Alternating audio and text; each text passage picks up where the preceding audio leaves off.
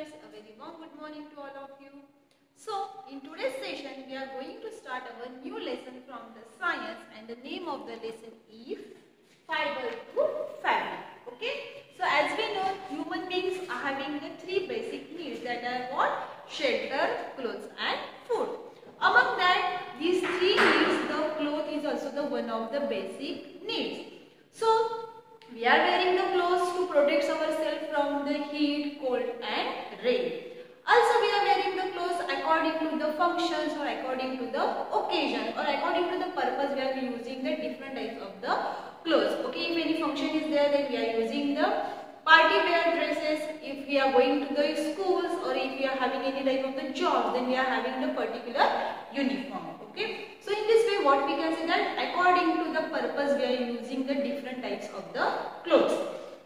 In our house there are the different types of the clothes that we are using. For example we can say we are using mostly the different types of the dresses. Also we are having the towel, bed sheets are there, different types of the curtains are there, pillows are there. Okay. So all these are the different types of the clothes and these clothes are made up of the different types of the fabrics. Okay. So the fabric means only what the clothes that we are using. But you have ever think that from where we are getting these clothes or from where we are getting these fabrics?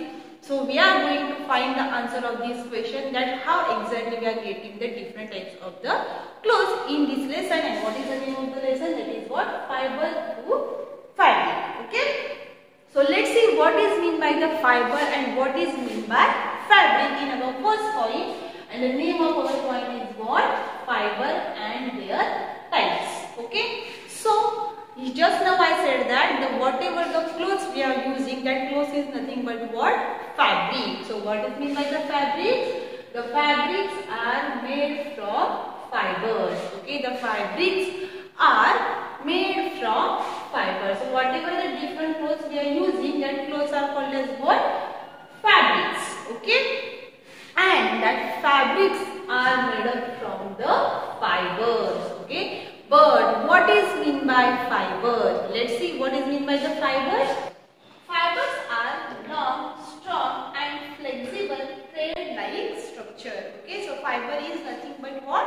Long and they are very strong also. Okay, they are long, strong and they are flexible thread-like structure. Okay. So regularly we can see the so many different types of the threads in our house. That is that threads are nothing but what? Fibers. Okay.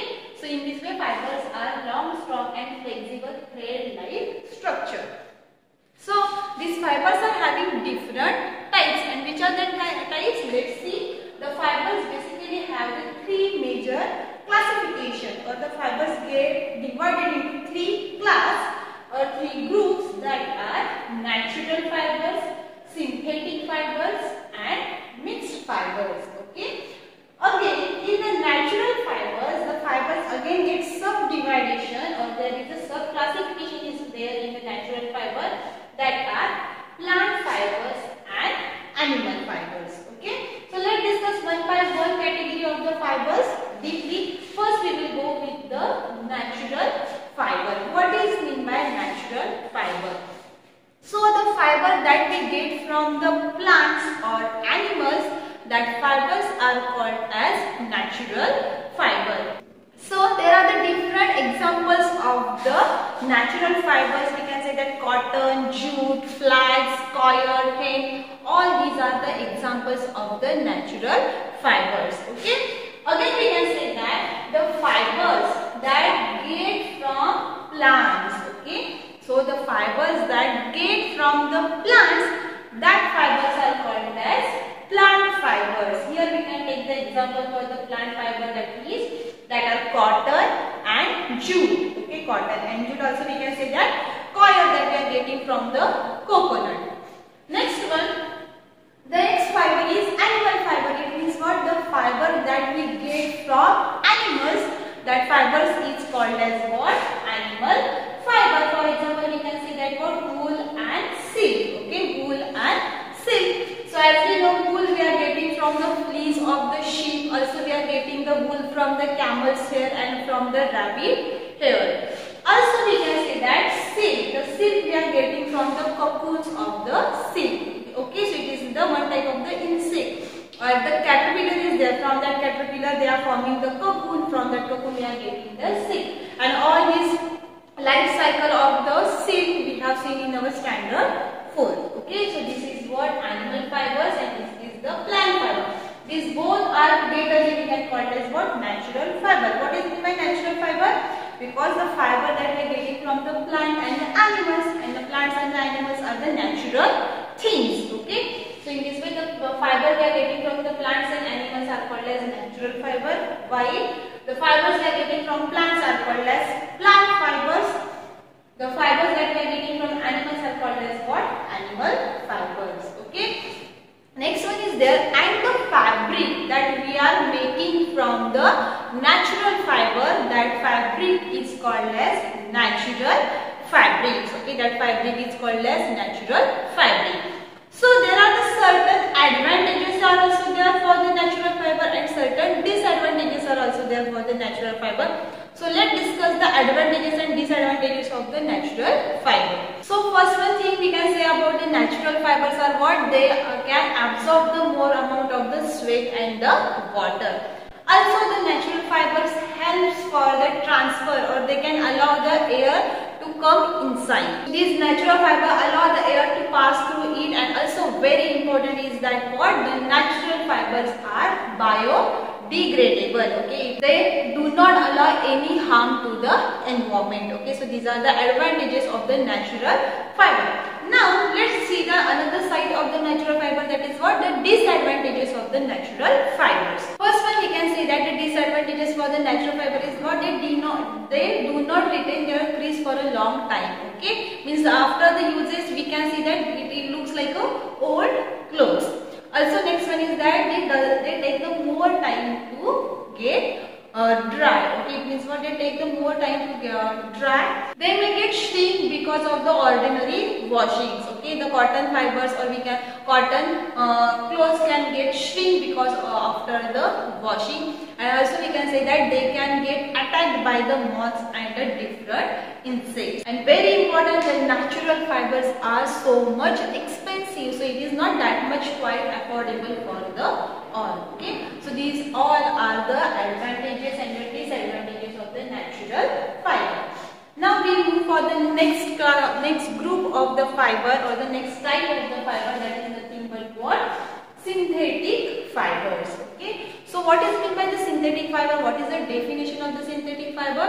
The synthetic fiber are the fibers which are made by the different chemicals in industries. That fibers are called as what? Synthetic fibers. Okay. So these synthetic fibers are the man-made okay by using the different chemicals in industry and that fibers are called as what synthetic fibers so the examples of the synthetic fiber we can say the nylon is there polyester is there acrylic is there terylene is there so many examples we will get in the synthetic fiber the synthetic fiber mostly made from the petroleum okay and the very important thing is that fabrics the fabrics made from the synthetic fibers are called as synthetic fabrics. Okay. Again I will repeat the fabrics which made from the synthetic fibers are called synthetic fabrics. Okay. Okay. So now we'll discuss about the advantages and the disadvantages of synthetic fibers. So let's discuss about the first advantages of the synthetic fiber.